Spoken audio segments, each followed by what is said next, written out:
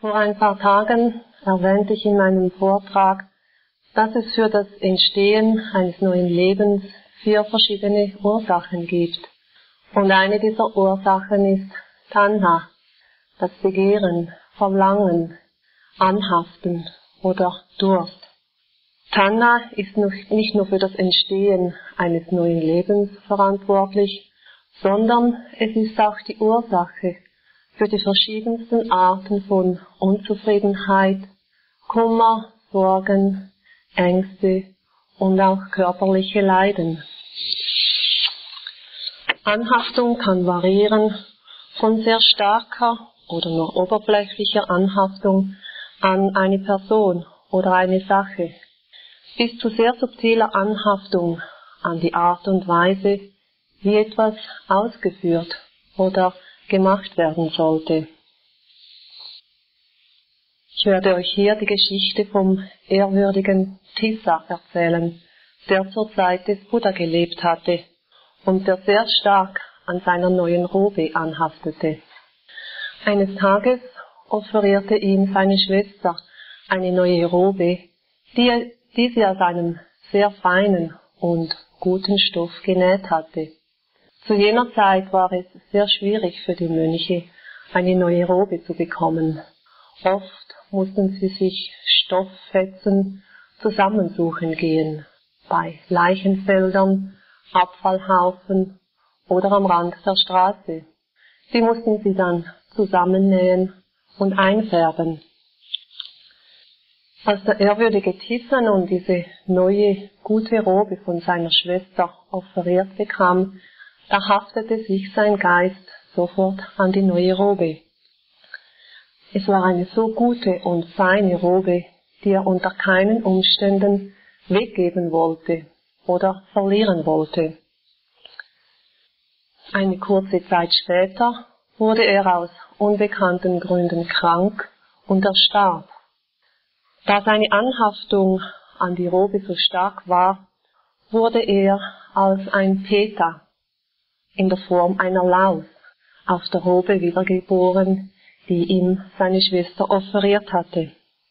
Als die anderen Mönche kamen, um die Sachen des ehrwürdigen Tessa einzusammeln, da sahen sie dieses komische Lebewesen auf der Robe irrsinnig herumrennen.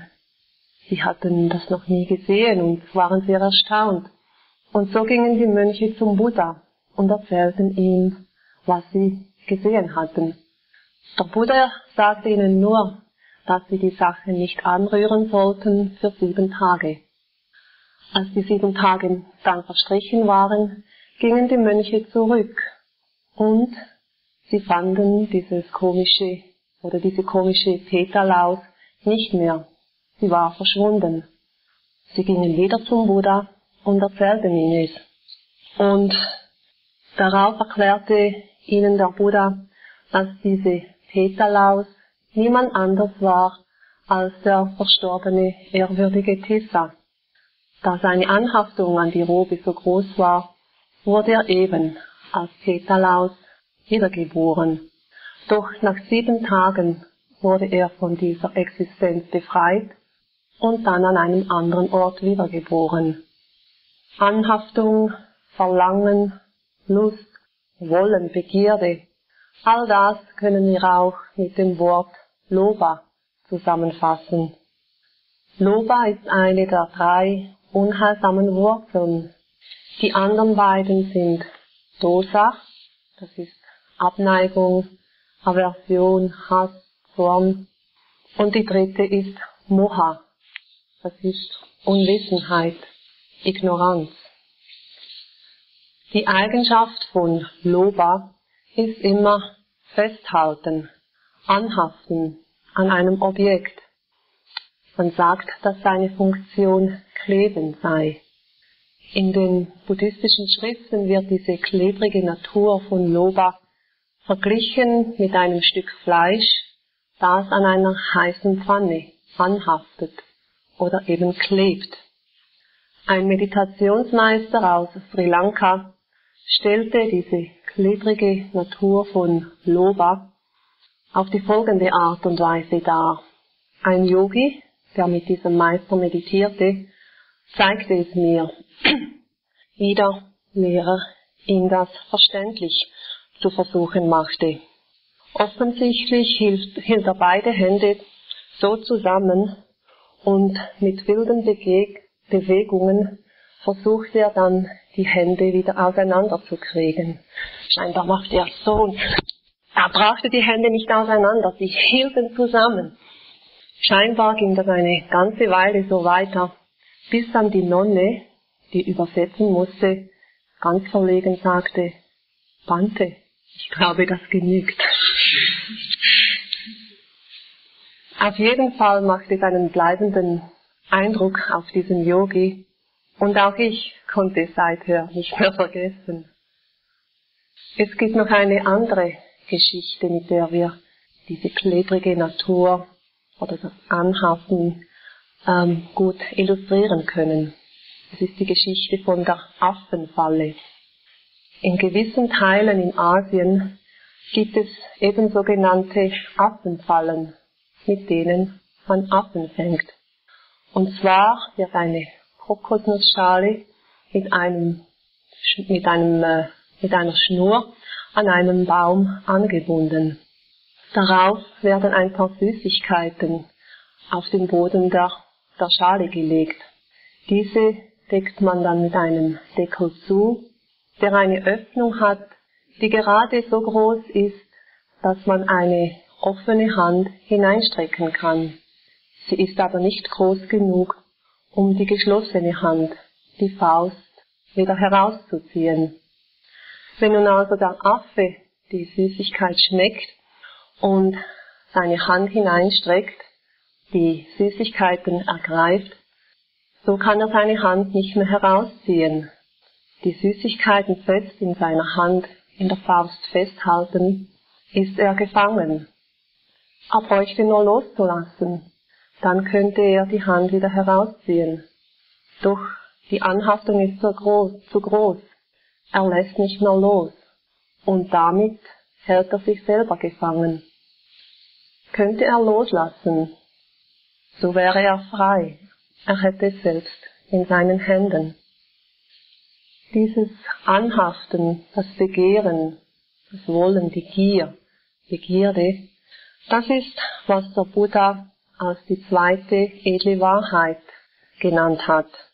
Oder es ist die Wahrheit von der Ursache des Leidens. Alle verschiedenen Arten von Leiden sind, sind letztlich bedingt durch Anhaften und Begehren.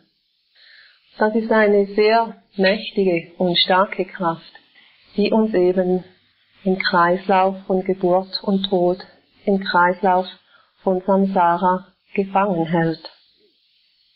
Die Kraft des Anhaftens, des Begehrens, des Wollens, die manifestiert sich in den verschiedensten Gebieten. Wir haften an Personen und auch anderen Lebewesen, zum Beispiel Haustiere. Wir haften aber auch an unseren materiellen Besitztümern, wie Schmuck, Auto, das Haus, die Stereoanlage, CDs oder auch an Blumen und Sträuchern in unserem Garten. Weiter haften wir auch am Essen, an gewissen Nahrungsmitteln. Ich glaube, darüber muss ich nicht weiter ins Detail gehen. Aber ich möchte euch eine kleine Geschichte erzählen von zwei koreanischen Mönchen, die bei uns in Burma im Malzentrum meditierten. Eines Tages kam eine koreanische Frau ins Malzentrum zu Besuch, die in Rangoon lebte.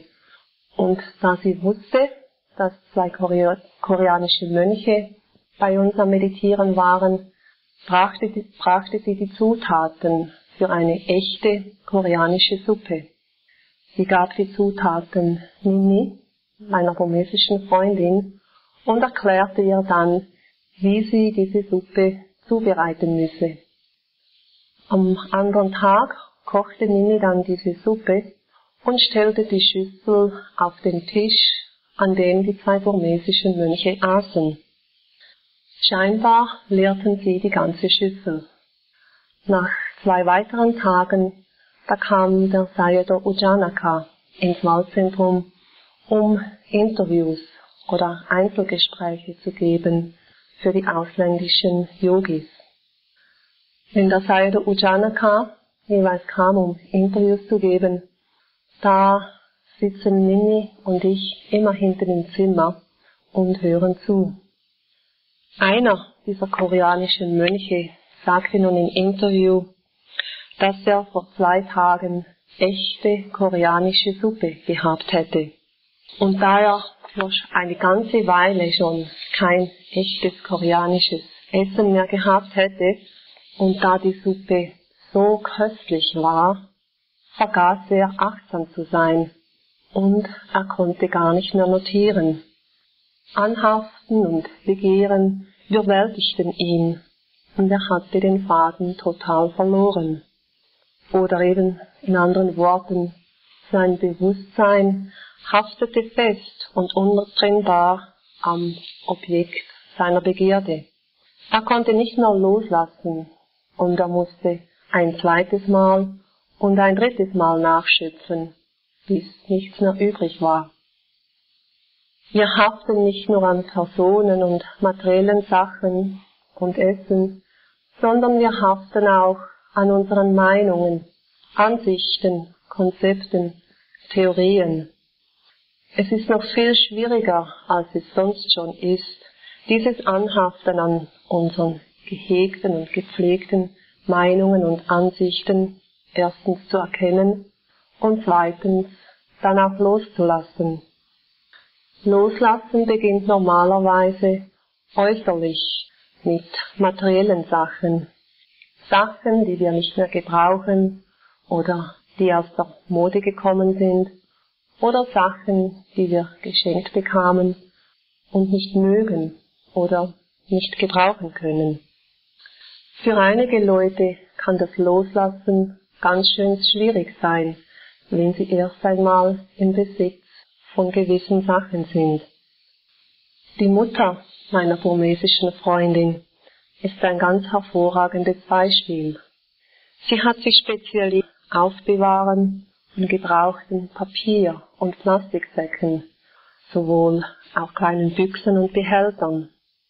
Ihre Wohnung ist sehr klein und die Küche, die misst etwa zwei auf zwei Meter. Es hat eine kleine elektrische Platte auf einem kleinen Gestell und daneben hat es aber auch noch einen tönernen Topf, mit dem Sie kochen müssen, wenn Sie keinen elektrischen Strom haben. Und das geschieht alle zwei Tage. In einer Ecke ist ein, ist eine kleine Ecke zum Abwaschen, natürlich auf dem Boden unten. Und dann gibt es noch einen Schrank, in dem Teller und Schalen aufbewahrt werden, sowie eine Menge kleinerer und größerer Behälter mit Zutaten und Gewürzen zum Kochen.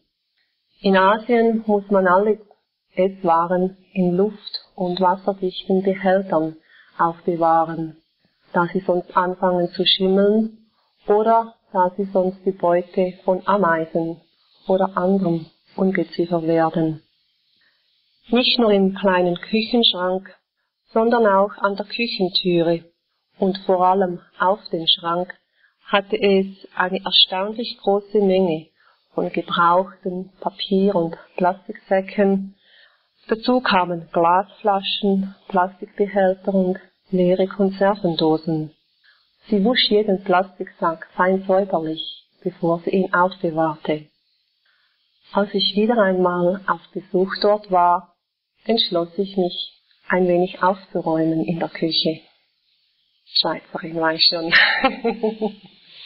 Diese Säcke, Behälter und Gläser, die waren schon seit Jahren dort, wenn nicht schon seit Jahrzehnten. Die Mutter meiner Freundin, die war natürlich ein wenig besorgt, dass ich zu viele ihrer so wertvollen Schätze weg, wegwerfen würde. Und so kam sie auch in die Küche. Zum Beispiel fand ich dort eine kleine Kartonschachtel, die gefüllt war mit leeren Papiersäcken. Und es stellte sich heraus, dass diese Papiersäcke von Kaffeepulver waren, dass die, dass die Familie trank, als die Kinder, die Mimi und ihr Bruder, noch zur Schule und zur Universität gingen. Und das war vor gut 20 Jahren. Oder an der Küchentüre, da hängten, hingen drei große Plastiksäcke, die schon eine Zentimeter dicke Schicht Staub darauf hatten. Darin hatte es wahrscheinlich hunderte von kleineren, eben fein säuberlich gewaschenen Plastiksäcken. Sie hatte noch mehr gebrauchte Plastiksäcke an anderen Orten aufbewahrt. Und auf dem Küchenschrank, da entdeckte ich eine riesige Sammlung von alten Karton- und Styroporbehältern, die eben auch sorgfältig aufbewahrt wurden, im Falle, dass man sie vielleicht einmal brauchen könnte. Ich konnte die Mutter schließlich überzeugen, dass ein paar von diesen Behältern genügen würden. Die Flaschen, Gläser und alten Konservendosen waren eine weitere faszinierende Sammlung. Die meisten dieser Konservendosen waren sowieso so rustig, dass man sie gar nicht mehr gebrauchen konnte. Es war gar nicht so einfach für die Mutter, so viele von ihren wertvollen Sachen aufzugeben, die sie über Jahre und Jahrzehnte angesammelt hatte. Anhaftung, Begehren und Gier haben uns fest im Griff. Es ist gar nicht so einfach, gegen die innewohnenden Gewohnheiten und Tendenzen anzukämpfen. Seither sind etwa drei Jahre verstrichen und in der Zwischenzeit ist die Küche wieder vollgepfercht mit allen möglichen Behältern, Dosen und Säcken. So schwierig es auch ist, materielle Sachen loszulassen, unsere Meinungen, Ansichten, Ideen und Theorien loszulassen, ist noch viel, viel schwieriger. Wir identifizieren unser Ich, unser Ego mit dem, was wir denken und glauben. Unsere Überzeugung beruht auf der falschen Annahme, dass es ein Ich oder ein Ego oder ein Selbst gibt, das seit der Geburt unveränderlich existiert hat und das so unveränderlich existieren wird, bis wir sterben. Und wir denken, dass es dieses Ich, dieses Ego ist, das handelt, spricht und denkt. Es ist aufgrund dieses Ichs oder Egos, dass wir an unseren Ansichten, Meinungen und Ideen festhalten. Und das wiederum beeinflusst die Art und Weise unserer Wahrnehmung. Das führt zu geistiger Steifheit, da wir in unserer Wahrnehmung festgefahren sind. Wenn wir an unseren Ansichten festhalten, wie etwas gemacht oder ausgeführt werden sollte, dann sind wir ganz schön gefordert, wenn es dann eben nicht so ausgeführt wurde. Dazu möchte ich auch ein Beispiel anfügen. Ein ausländischer Mönch, der bei uns im Malzentrum meditierte, musste Passfotos für seine Visumsverlängerung machen lassen. Ich bestellte den Fotografen ins Zentrum und er machte etwa fünf verschiedene Fotos, da der Mönch später eine Vergrößerung machen wollte vom Besten dieser Bilder. Der Fotograf sprach kein Englisch und so musste ich übersetzen. Der Mönch sagte, dass der Fotograf die Negative dann nicht entzweischneiden sollte, sondern dass er sie alle zusammenlassen solle. Nach vier oder fünf Tagen kam der Fotograf mit den Bildern, jedes Bild mit dem entsprechenden Negativ in einem kleinen Plastiksäcklein. Das bedeutete natürlich, dass er die Negative verschnitten hatte. Da der Mönch am Meditieren war, auf der anderen Seite des Zentrums, nahm ich die Fotos entgegen und gab sie ihm dann später im Esssaal. Als er sah, dass die Negative verschnitten waren, da regte er sich natürlich furchtbar auf und er fragte mich, warum sie der Fotograf verschnitten hatte, obwohl er es ihm doch ausdrücklich gesagt hatte, nicht zu tun. Natürlich konnte ich ihm nicht antworten. Der Mönch fuhr weiter zu erklären, dass er nach seiner Rückkehr eben noch selber weitere Kopien von diesen Negativen machen wollte.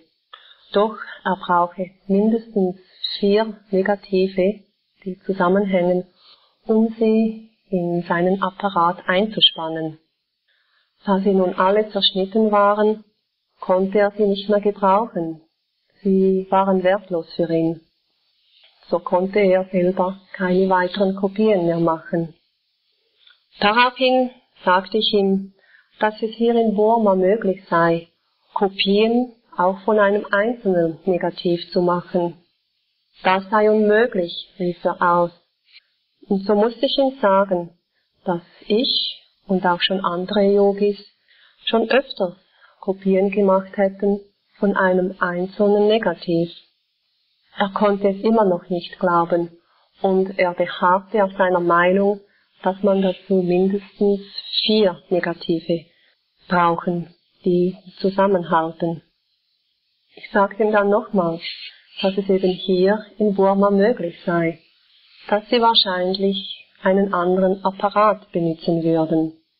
Es war offensichtlich, dieser Mönch hatte große Schwierigkeiten, über seinen eigenen Schatten zu springen und die Möglichkeit zuzulassen, dass es eben auf eine andere Art und Weise möglich war. Das Ich oder das Ego lieben es gar nicht, herausgefordert zu werden oder zuzugeben zu müssen, dass man Unrecht hatte. Es ist nur auf diesem scheinbar sicheren Grund des Ich-Glaubens, dass wir uns wohl und glücklich fühlen. Auch hier ist es letztlich das Begehren und das Verlangen nach Sicherheit, nach einem sicheren Boden unter den Füßen. Doch aufgrund der zweiten edlen Wahrheit führt das nicht zu Glück, sondern eben nur zu Unzufriedenheit oder Leiden. Damit kommen wir zur ersten edlen Wahrheit. Das ist die Wahrheit vom Leiden. Der Buddha begann mit dieser Wahrheit, da sie uns alle betrifft. Wir haben alle verschiedene Stufen von Leiden und Unzufriedenheit erfahren und durchgemacht, oder zumindest Zeiten, in denen wir uns nicht vollständig glücklich oder zufrieden fühlten. Das Pali-Wort für die erste Wahrheit ist Dukkha Satcha, die Wahrheit vom Leiden. Das Pali-Wort Dukkha hat eine viel weitere Bedeutung als nur Leiden. Es beinhaltet auch Schmerz, Kummer, Misere, Unzufriedenheit, Sorgen, Enttäuschung, Hoffnungslosigkeit oder Frustration. Dukkha, das beinhaltet körperlich und geistiges Leiden oder Unzufriedenheit. Der Buddha hat Leiden so beschrieben. Geburt ist Leiden, Altern ist Leiden, Krankheit ist Leiden, Sterben ist Leiden, Kummer, Jammer, Schmerz, Trübsal und Verzweiflung sind Leiden. Das Nichterlangen dessen, was man begehrt, ist Leiden, und das Erlangen dessen, was man nicht begehrt, ist Leiden. Kurz gesagt, die Wahrheit von Dukkha, Leiden, schließt unser ganzes Leben mit ein. Da die vier edlen Wahrheiten mit der Wahrheit vom Leiden beginnt, denken viele Leute, dass die buddhistische Lehre eine pessimistische Lehre sei. Das ist jedoch eine vorschnelle Schlussfolgerung, ohne die tiefere Bedeutung dieser Aussage auch wirklich zu verstehen. Die buddhistische Lehre ist realistisch. Sie schaut in einer realistischen Weise unser Leben und die Welt an Die Dinge werden objektiv angeschaut und es wird uns gesagt, was wir wirklich sind und woraus die Welt um uns herum auch wirklich besteht. Die Lehre zeigt uns einen Weg zum perfekten Frieden, zu größtem Glück und zu wahrer Zufriedenheit. Im Ganzen gibt es vier Ele-Wahrheiten. Neben den zwei, die ich schon genannt habe, die Wahrheit vom Leiden und die Wahrheit von der Ursache des Leidens. Daneben gibt es noch zwei weitere Wahrheiten. Die dritte ist die Wahrheit vom Ende des Leidens. Und die vierte ist die Wahrheit vom Weg, der zum Ende des Leidens führt. Der Buddha begnügt sich nicht nur mit zu sagen, dass es Leiden und eine Ursache gibt, sondern er sagt auch ganz deutlich, dass es einen Weg gibt, der zum Ende des Leidens führt. Das bedeutet also, dass wir die Möglichkeit haben, unserem unzufriedenen Leben zu entrinnen und einen Zustand von wahrem Frieden und Glück zu verwirklichen. Lasst uns nun zur ersten edlen Wahrheit zurückgehen, der Wahrheit vom Leiden. Wie ich vorhin erwähnt hatte, ist Geburt, Altern, Krankheit und Sterben Leiden. Weiter das Nicht-Erlangen dessen, was man begehrt, und das Erlangen dessen, was man nicht begehrt. Das alles ist Leiden. Das sind ganz offensichtliche Formen von körperlichem und geistigem Leiden. Geburt, Altern, Krankheit und Sterben sind oft begleitet von anderen körperlichen Schmerzen oder Gebrechen. Und das Nichterlangen dessen, was man begehrt, und das Erlangen dessen, was man nicht begehrt, das führt oft zu weiterem geistigen Leiden oder Unzufriedenheit, zu Sorgen, Kummer, Enttäuschung, Unruhe, Depression, Wehklagen, Traurigkeit oder Hoffnungslosigkeit. Ob es nun körperlicher Schmerz oder geistiges Unwohlsein ist, unsere gewohnte Reaktion ist die der Ablehnung, der Aversion. Wir wollen uns dieser unangenehmen Empfindung so schnell als möglich entledigen. Körperlicher und geistiger Schmerz ist unangenehm. Und was unangenehm ist, das wollen wir meistens nicht anschauen. Wir suchen sofort nach Wegen und Methoden, uns davon zu entledigen. Darum gibt es auch unzählige Medikamente und andere Hilfsmittel, die eine schnelle Erleichterung von unangenehmen Empfindungen bereiten. Zum Beispiel für Kopfweh greifen wir zu einem Aspirin oder für steife Muskeln reiben wir uns eine wärmende Salbe ein. Und für Magenprobleme, da haben wir auch gleich die richtige Arznei zur Hand. Und in der gleichen Art und Weise gehen wir auch mit unserem geistigen Leiden um. In unserer großen Niedergeschlagenheit hören wir uns unsere Lieblingsmusik an oder wir gehen ins Kino oder den Kummer über den Verlust einer uns nahen Person ertränken wir in Alkohol oder nagende Sorgen mischen wir mit Hyperaktivität unter den Tisch. Sehr oft geschehen unsere Aktivitäten automatisch und wir sind uns dieser eingefleischten und gewohnheitsmäßigen Reaktionen des Wegrennens oder des Vermeidens von unangenehmen Empfindungen oft gar nicht bewusst. Wir fürchten uns, diesen unangenehmen Empfindungen ins Gesicht schauen zu müssen. Und deshalb haben wir auch nie, auch noch nie ihre wahre Natur gesehen. Wir wissen zwar, dass es unangenehm ist oder dass es leidhaft ist. Doch wir sehen den Dingen nicht auf den Grund. Wir haben nur eine sehr vage und oberflächliche Vorstellung, die auf unserer Unwissenheit und auf unserem Vorurteil beruht. Der Buddha sagte, dass die erste edle Wahrheit von allen Leuten persönlich erkannt und verstanden werden muss. Unter dem Einfluss der Unwissenheit und eingekerkert in unsere falschen Vorstellungen haben wir ein völlig falsches Bild vom Schmerz oder einer sonstigen unangenehmen Empfindung. Wir haben den Mut nicht, uns diesen angsteinflößenden Ding, den Schmerz, zu stellen. Und falls wir uns wagen, dann nur in ganz kleinen Schritten. Auf die Frage, warum Erleuchtung in Stufen geschehe, antwortete der Sayadaw Upandita, das ist auch ein großer burmesischer Meditationsmeister, er sagte, dass wir so viel Leiden auf einmal gar nicht ertragen könnten. Wenn wir Meditation praktizieren, dann werden wir unweigerlich mit unangenehmen körperlichen und geistigen Empfindungen konfrontiert. Vor allem am Anfang unserer Praxis haben wir sehr viele körperliche Schmerzen zu ertragen. Die Beine schlafen ein, der Rücken schmerzt, die Schultern sind steif, der Kopf ist voller Druck, brennende Schmerzen in den Fußknöcheln oder Beißen im Gesicht oder Hitzewellen, die durch unseren Körper gehen.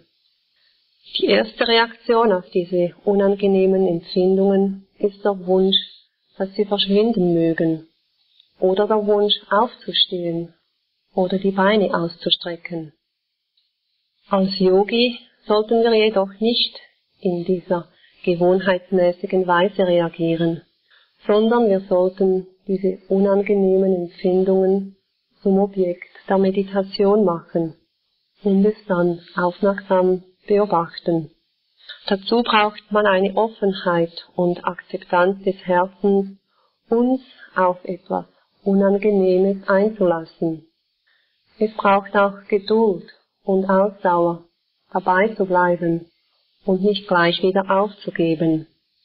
Erst wenn wir frei von allen Vorurteilen hinschauen und beobachten, können wir die wahre Natur dieser unangenehmen Empfindungen erkennen. Zuerst realisieren wir, dass es möglich ist, wenigstens eine gewisse Zeit dabei bleiben zu können. Und da wir für eine gewisse Zeit beobachten, sehen wir, dass diese Empfindung nicht die ganze Zeit über gleich bleibt, sondern dass sie sich verändert, dass sie kommt und geht. Wir können sehen, wie ein Schmerz im Rücken hochkommt, wie er eine Weile bleibt und wie er dann wieder verschwindet. Oder wir können beobachten, wie der Druck im Kopf entsteht und wie er sich dann nach einer Weile wieder von selbst auflöst. Auf diese Weise sehen wir die vergängliche Natur dieser Empfindungen. Keine dieser schmerzhaften Empfindungen währt ewig. Sie kommen und gehen, sie entstehen und vergehen. Später, wenn die Achtsamkeit tiefer und die Konzentration größer geworden ist, dann können wir mehr Details innerhalb dieser unangenehmen Empfindungen entdecken. Wir sehen, dass der scheinbar solide Block von Schmerz überhaupt nicht solide ist, sondern dass die ganze Zeit ganz kleine Veränderungen stattfinden. Der Schmerz mag sich von hier ein wenig nach dort drüben bewegen, oder er mag stärker und dann wieder schwächer werden oder er mag sich ganz diffus ausbreiten oder sich in einem kleinen Punkt sammeln. Es kann ganz faszinierend sein, alle diese Veränderungen zu beobachten und ein Zeuge dieses sich stets wechselnden Prozesses sein. Und damit beginnen wir auch ein realistischeres Bild vom Schmerz oder eben dieser unangenehmen Empfindung zu kriegen. Schmerz muss nicht ein Feind sein, den wir auf der Stelle loshaben wollen. Mit der richtigen Einstellung und der Bereitschaft, uns dem Schmerz zu stellen, kann der Schmerz ein guter Freund werden oder sogar ein guter Lehrer. Mein Lehrer, der Sayadaw Ujanaka, der sagt sehr oft, Schmerz ist der beste Freund eines Meditierenden. Natürlich, ein Anfänger ist nicht gerade erfreut, einen solchen Freund zu bekommen. Doch mit dem Fortschreiten in der Meditation kommt man zur Realisation, dass der Schmerz eigentlich auch ganz hilfreich sein kann. Es führt nicht nur zu einem realistischeren Verständnis der wahren Natur des Schmerzes, sondern es ist auch eine hilfreiche Unterstützung für eine gute Konzentration und für eine präzise Achtsamkeit. Wenn wir einen stechenden Schmerz im Knie beobachten, zum Beispiel, dann ist es sehr unwahrscheinlich, dass der Geist abschweift oder über etwas anderes nachdenkt. Der Schmerz ist ein sehr guter Fokus und mit tieferer Konzentration können wir dann auch tiefer und tiefer eindringen. Der Sayadaw Ujjanaka sagt auch sehr oft, der Schmerz ist der Schlüssel für das Tor von Nibbana. Wenn wir eine schmerzhafte Empfindung beobachten, können wir tiefe Einsichten in die wahre Natur der Dinge gewinnen, was schließlich in der vollen Erkenntnis alles Seienden gipfelt. Wenn ihr Schmerzen habt, dann seid ihr große Glückspilze, ihr einen Freund habt, der euch den Weg zu tiefgründigem Erkennen zeigen will. Ihr mögt nun einwenden, dass es Momente des Glückes auch gibt. Der Buddha verneint diese Tatsache nicht. Er will uns nur zu verstehen geben, dass diese Momente des Glückes nicht von Dauer sind, dass sie nicht ewig wären. Sie sind genau wie alle anderen bedingten Phänomene der Veränderung untertan und somit können sie eben nicht als absolutes und wahres Glück gelten. Irgendwie wissen wir ja das und es ist aus diesem Unbehagen heraus, dass wir immer wieder noch neuere, noch bessere Bedingungen schaffen, die als Grundlage unseres Glückes dienen sollten. Unser Glück und unsere Zufriedenheit sind immer von äußeren Bedingungen abhängig, wie zum Beispiel mit einer gewissen Person zusammen zu sein oder etwas Bestimmtes zu essen oder an einen bestimmten Ort in die Ferien zu gehen oder eine bestimmte Musik zu hören oder an einem in einem bestimmten Klima zu leben.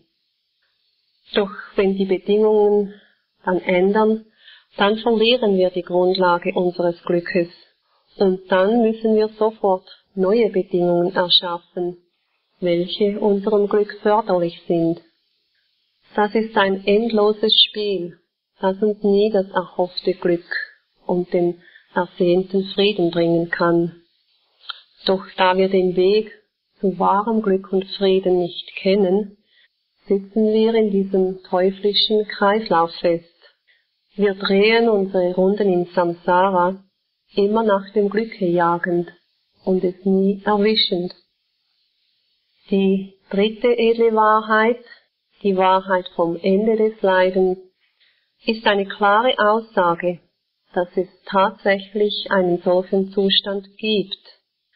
Wenn das Leiden endet, dann existiert Glück, Frieden, Ruhe, Heiterkeit und Zufriedenheit.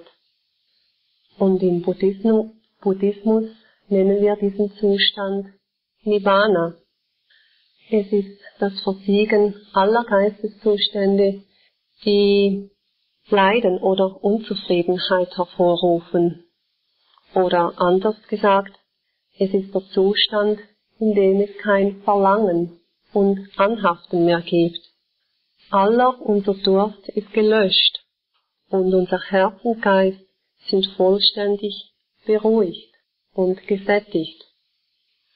Solange wir nicht erleuchtet sind, dürsten wir die ganze Zeit wir sind immer irgendwie unzufrieden und in einer, einer oder anderen Art und Weise am Leiden. Es ist wie wenn wir unseren Durst mit Salzwasser löschen wollen. Je mehr wir trinken, desto mehr Durst haben wir. Die zweite edle Wahrheit, die Wahrheit von der Ursache des Leidens, sagt eben, dass Tanna, das Begehren, die Ursache unseres Leidens ist. Es folgt nun logisch, dass mit der Beseitigung der Ursache auch das Leiden zum Ende kommt. Und das ist, was wir in der dritten Wahrheit finden. Der Buddha und viele seiner Schülerinnen und Schüler von anno dazumal bis jetzt haben das Ende des Leidens, das Ungeformte, das Ungeborene, das Unkreierte oder das Bedingungslose. Andere Worte zum Beschreiben sind Frieden, das höchste Glück, Befreiung, Emanzipation oder Erhabenheit. Wenn wir diese Ausdrücke gebrauchen, müssen wir aufpassen, dass wir sie nicht mit dem Glück oder dem Frieden verwechseln, die aufgrund von weltlichen Bedingungen entstehen. Das Glück oder der Frieden von Nirvana sind von keinen äußeren Bedingungen oder Ursachen abhängig. Und das ist die wahre Freiheit. Wir sind frei vom Zwang, stets neue Bedingungen zu erschaffen, welche die Grundlage unseres Glückes oder unserer Zufriedenheit, sein müssen. Der Frieden und das Glück von Nibbana, die entstehen von innen heraus. Es entsteht in einem vollständig geläuterten Herz und Geist, in dem alle Kilesas verdörrt sind.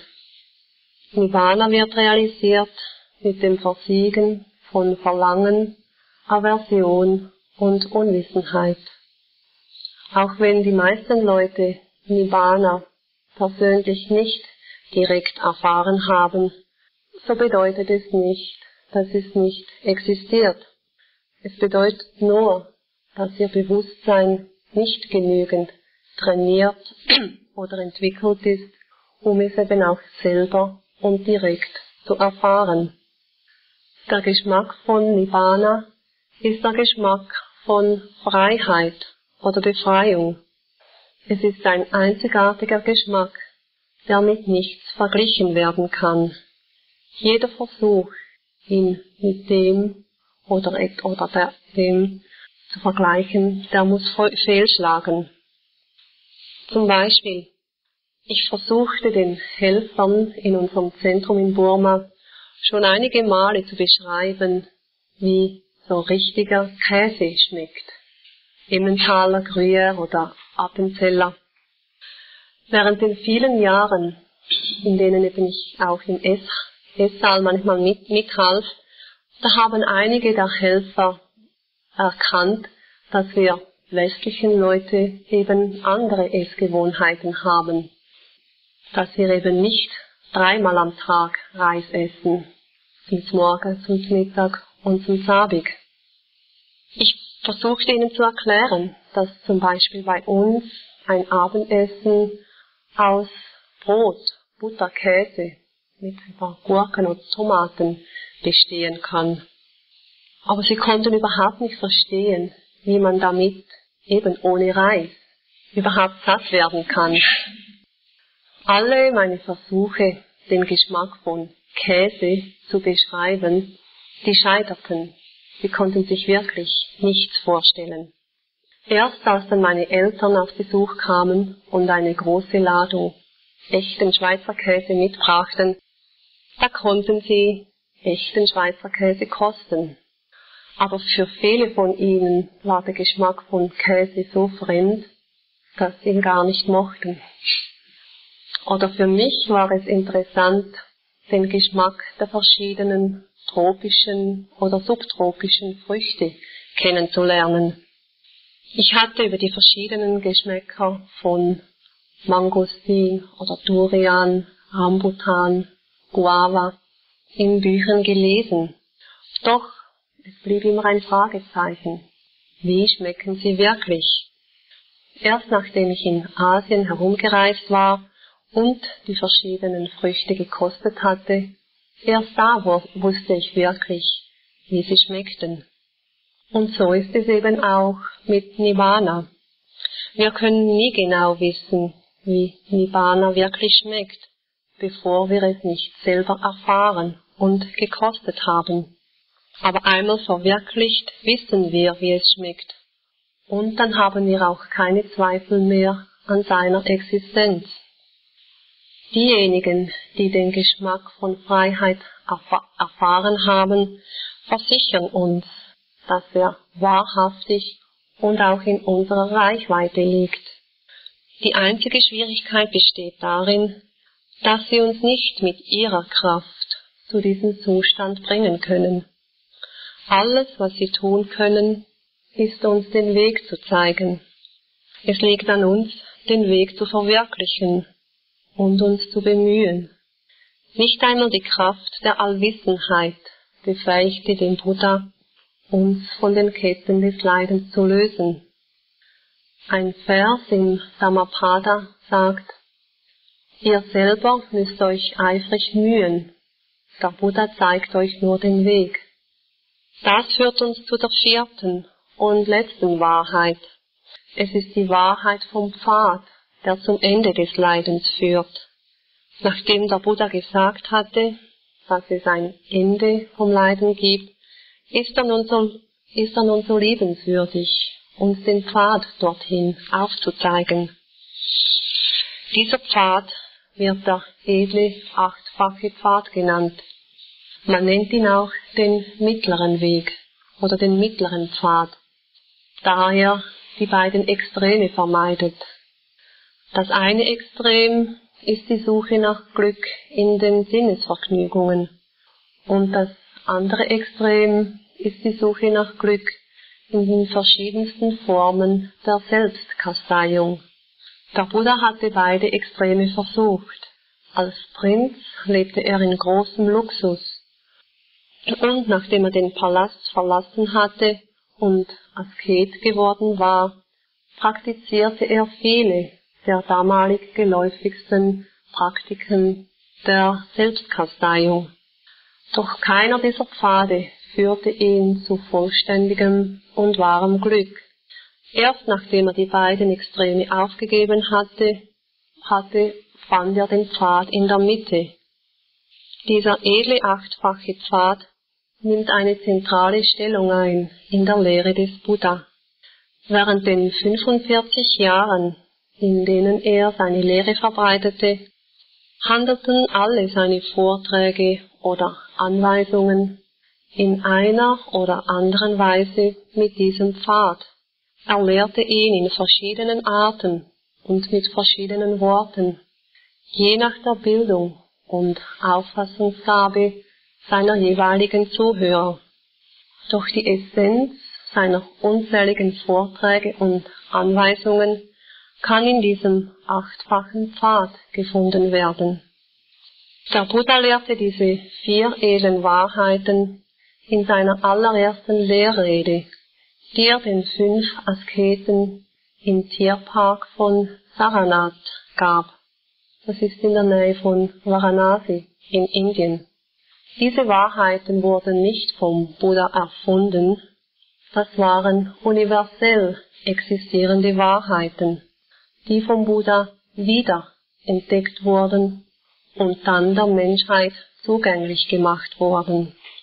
Der Buddha lehrte, dass die Wahrheit vom Leiden realisiert werden muss und die Wahrheit von der Ursache des Leidens, die muss aufgegeben oder losgelassen werden.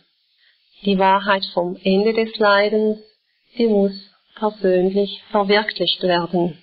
Und die Wahrheit vom Pfad, der zum Ende des Leidens führt, muss entwickelt und trainiert werden. In den vier edlen Wahrheiten finden wir eine klare und verständliche Erklärung unserer nicht zufriedenstellenden Situation sowie eine Beschreibung, wie wir aus dieser unbefriedigenden Situation herauskommen können und wie wir wahres Glück und tiefen Frieden finden können.